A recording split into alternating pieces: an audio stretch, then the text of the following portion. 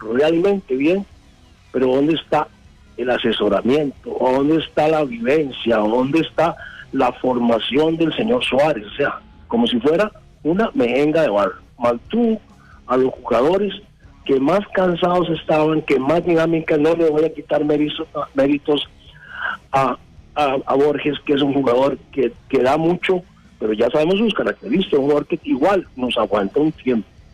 Entonces digo yo, ¿para qué se lleva Bolaños? ¿Para qué nos hace perder? ¿Para qué nos ilusiona a, la selección de Costa Rica diciendo que Bolaños, para ponernos cinco minutos? Por favor.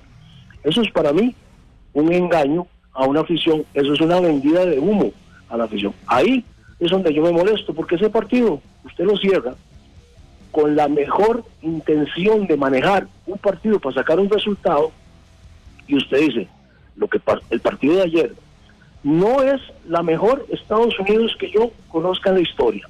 Es un equipo muy bien trabajado, con chiquillos que están con pañales, que se asustaron cuando vieron que había una Costa Rica que se les paró bien.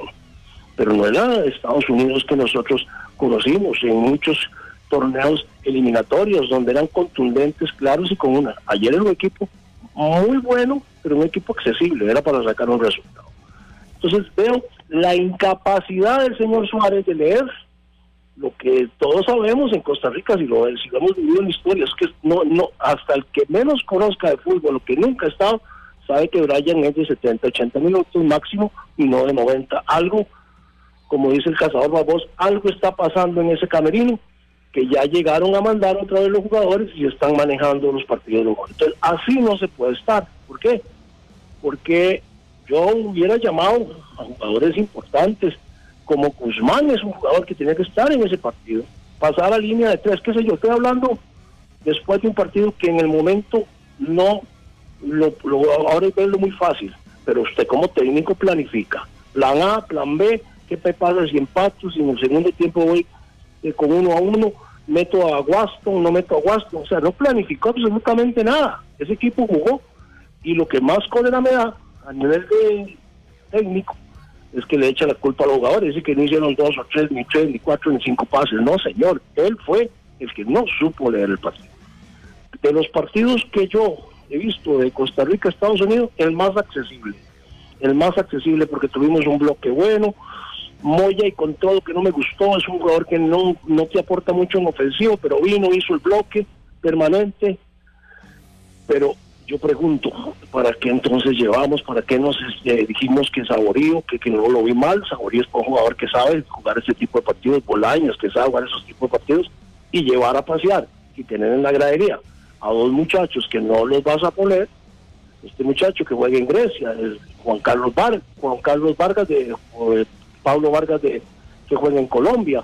Y llevarlos a pasear es muy rico, andarlos llevando y paseando y estar para allá y para acá jugadores en los cuales Costa Rica le pueda dar algún tipo de resultado.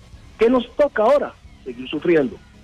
Creo que todavía tenemos posibilidades, pero tendríamos que hacer una valoración enorme, enorme, enorme, enorme, enorme, sentarse la federación, comisión, creo que no hay ni comisión, ya no hay un director deportivo, yo, Rodolfo, que es el que maneja eso, que es el, como lo decía ahora el cazador, que es el, el dueño de la selección, el que ya toma la decisión, reunirse con su grupo de amigos tomar decisiones importantes, decirle al señor Suárez qué es lo que hay que hacer. Pero, pero Alfredo, Alfredo, a mí de lo que más me ha quedado claro son las declaraciones que da el señor después de los partidos. Es decir, a, mí me hace entrar en una duda.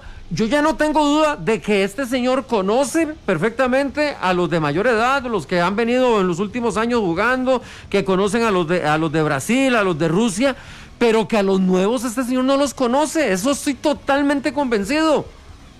Pero lo que más me preocupa, Alex Mazón, es sus declaraciones al final de la conferencia, donde ya se está preparando para decirnos a nosotros, los costarricenses, que no vamos a clasificar y por qué no vamos a clasificar. Eso es lo que más me preocupa, porque esto no está todavía, está para darle, como decimos literalmente, está para darle. Partidos en los cuales perdimos 2 a 1 por malos cambios, por mala lectura del partido, pero esto está recuperable. Usted hablaba algo de Alexander Guimaraes, yo tomo la decisión, no como dicen los otros que le falten pantalones, decir, tome decisiones, no tomó decisiones, una comisión estando yo, nos trajimos a un Macho Mora de, de, Guatemala, el mismo, es, eso es tomar decisiones. tomar decisiones es en el momento oportuno, no porque le da miedo, porque los jugadores no se lo permiten al señor Rodolfo Villalobos, eso es todo. Entonces, los jugadores van a seguir más Pero hey, traigan al papá de uno de los mejores jugadores. Costa Rica se lo garantizo que clasifica. Clasifica, ¿por qué? Porque es de lectura, es de conocimiento, es de saber qué rendimiento le puede dar un jugador importante en esos partidos. Pero yo creo que el señor está totalmente, totalmente perdido. Entonces, ¿para qué perder el tiempo llevándose saborío cinco minutos? Llevaron a, a Bolaños cinco. Yo le garantizo que Bolaños entra, se lo garantizo a ojo cerrado. Bolaños ese partido lo equilibra. Si me llevo a Guzmán, ese partido lo equilibra y lo empatamos uno, uno a uno, como estaba. No le damos espacio, lo recuperamos porque ellos andaban, no andaban en su día o no andaban equilibrados. Alfredo, toma decisiones. Alfredo, yo le puedo decir que todavía tenemos la oportunidad de terminar, eh, Hernán, los primeros 45 minutos con el empate y uno dice, bueno, si no los aplicó Hernán, eh, eh, las variantes, o si no los puse del inicio, en el mismo arranque de la segunda parte, porque uno ya veía... si ya, lo, hizo Honduras y no le funcionó, ya lo hizo Honduras. Correcto. Que Johan Venegas, Hernán, no estaba funcionando, entonces ¿para qué sostenés tanto a Venegas? ¿Por qué sostenés a, a, Moya? ¿Por qué si ya no te están alcanzando las piernas, Hernán Morales eh, no sostiene? Es que esas son las dudas, Hernán, que a mí me quedan. Aquí, en compañía de Alfredo Piedra, del cazador Barbosa, Hernán Morales.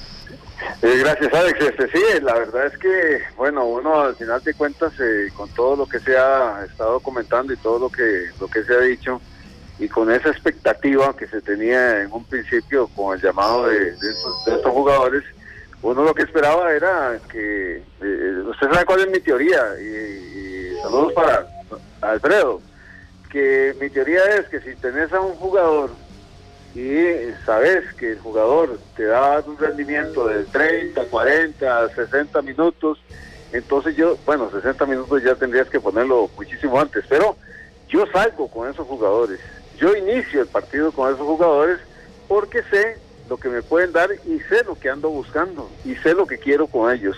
Entonces, eh, esa teoría de guardarse algunos jugadores como eh, los que se han venido comentando, especialmente lo de Bolaños, que podía ser un hombre que desequilibrara por ese sector, que tuviera manejo de la pelota, que eh, manejara los tiempos también, es un jugador que te sabe pausar un partido, que te sabe llevar y sacar una falta en determinado momento, pues sí, uno tiene que concordar con todos aquellos que de una u otra forma están expresando o estamos expresando que al técnico le está faltando esa lectura de juego. Y otras cosas que a uno le, pues, le llaman también poderosamente la atención de del estilo de don Fernando Suárez, que lo veíamos al principio y que a mí por lo menos dije, era un hombre directo, es un hombre que te dice las cosas, pero con esa, con esa pasividad con que ve los partidos, con que está analizando los juegos, creo que no llega a transmitir lo que necesitan los jugadores. Ojo, que los jugadores han puesto lo que decía